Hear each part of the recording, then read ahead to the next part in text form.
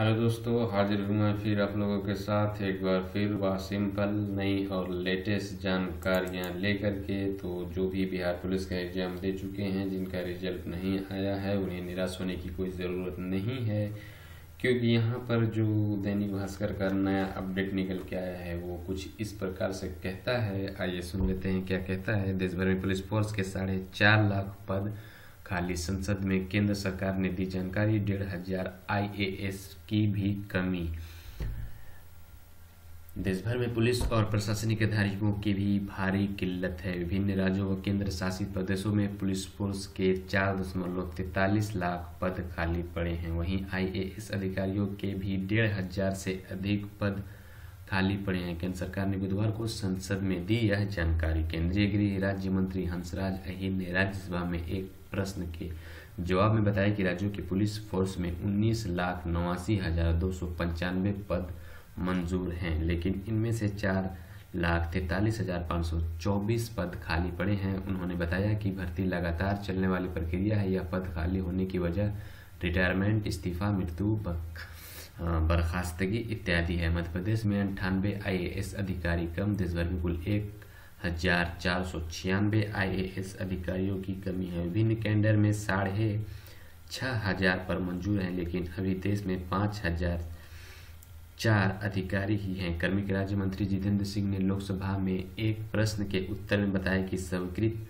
पदों की तुलना में मध्य प्रदेश में अंठानवे अधिकारी कम हैं। जी हाँ तो यहाँ से कुल मिला के पता चलता ये है कि अभी राज्य हो जाए या स्टेट हो जाए, या भी आपका सेंट्रल गवर्नमेंट हो जाए, बहाली काफ़ी अच्छी खासी आने वाली है। और दूसरा यहाँ पे एक और अगर देख लिया जाए पत्रिका दैनिक का तो उन्होंने बताया पुलिस में चार दशमलव तैतालीस लाख पद खाली। नई दिल्ली नई दिल्ली देश में पुलिस बलों के चार दशमलव तैतालीस लाख से ज़्यादा पद खाली हैं। केंद्रीय गृह राज्य मंत्री हंसराज अहिर ने राज्यसभा में एक सवाल के लिखित जवाब में बताया कि एक जनवरी दो हज़ार सत्रह तक देश में पुलिस बलों के उन्नीस दशमलव नवासी लाख पद स्वीकृत थे।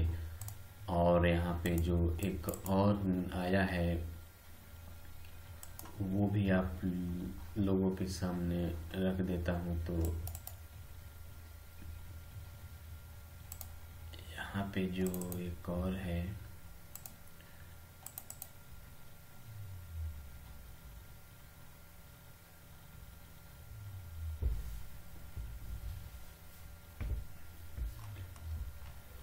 दो साल में केंद्र सरकार में होगी दो दशमलव तिरपन लाख की नई नौकरियाँ। जी हाँ आपको कहीं भी जाने की ज़रूरत नहीं, निराश होने की ज़रूरत नहीं, आप अपने काम पे, अपने लगन अपने अपने प्रयास को जारी रखिए। डिफेंस वगैरह में ना हो, रेलवे में हो, किसी में हो, एसएससी में हो, बैंक में हो, चाहे किसी भी किसी भी स्टेज में हो, कोई सा भी नौकरी हो, लेकिन जॉब तो लेके रहना है तो उसके लिए आपको करना है। सिंपली मेहनत। तो आइए जान लेते हैं इनका कहना क्या है। पिछले दो वर्ष दो वर्ष में केंद्र सरकार में पुलिस करीब दो दशमलव तिरपन लाख लोगों को नौकरी मिली है यह बात 2018-2019 के आम बजट से सामने आई है। इसके मुताबिक मार्च 2016 में केंद्र सरकार में बत्तीस दशमलव बावन लाख लोग काम कर रहे थे। मार्च 2018 तक इनकी संख्या बढ़कर पैंतीस दशमलव पाँच लाख तक पहुँचने का अनुमान है। केंद्र सरकार के विभिन्न मंत्रालयों, विभागों में कार्यरत कर्मचारी की संख्या दो साल में दो दशमलव तिरपन लाख, यानी सात पॉइंट सेवेंटी एट परसेंट बढ़ी है।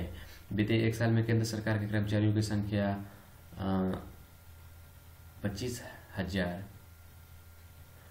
सॉरी पच्चीस हज़ार बढ़ी है बजट दस्तावेज़ के मुताबिक एक मार्च दो हज़ार सत्रह को केंद्रीय कर्मचारियों की कुल संख्या चौंतीस दशमलव आठ लाख थी। दो साल में केंद्रीय कर्मचारियों में सबसे अधिक इजाफा गृह मंत्रालय के तहत काम करने वाले पुलिस विभाग में हुई है। इसकी कर्मचारियों की संख्या मार्च दो हज़ार सोलह को दस, चौबीस, तीन सौ चौहत्तर थी, जो अब ग्यारह, पच्चीस ज़ीरो नाइन थ्री हो गई है। गृह मंत्रालय में पुलिस विभाग, कैबिनेट छोड़कर अन्य कर्मचारियों की संख्या में पाँच, आठ, थ्री, सिक्स यानी पाँच हज़ार आठ सौ छत्तीस इजाफा होने का अनुमान है। मार्च तक इनकी कुल संख्या बढ़कर छब्बीस हज़ार एक सौ अट्ठासी हो जाएगी। परमाणु ऊर्जा विभाग में कर्मचारियों की संख्या छः हज़ार दो सौ उन्नासी बढ़ेगी। एक मार्च 2016 को इनकी संख्या तीस हज़ार छः सौ उनचालीस थी। अगले माह तक इसके छत्तीस हज़ार नौ सौ अठारह तक पहुँचने का अनुमान है। सांस्कृतिक मंत्रालय के कर्मचारियों की संख्या तीस हज़ार चौबीस बढ़ेगी। एक मार्च दो हज़ार सोलह को इनकी संख्या सात हज़ार छः सौ पचहत्तर थी। तो यहाँ से कुल मिलाकर जो पता चलता है वो फ्रेंड्स यही है कि आपका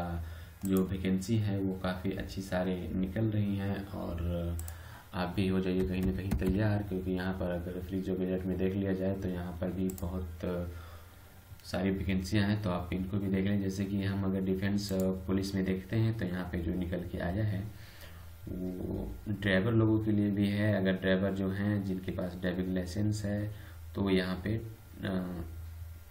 ऑनलाइन कर सकते हैं। तो उनके लिए भी आ, जो एसएससी ने है जो निकाला हुआ है ठीक है? और तो आप इसके बीच में देख लीजिएगा, जैसे यहाँ पे है पुलिस कांस्टेबल ग्यारह सौ सैंतीस पोस्ट।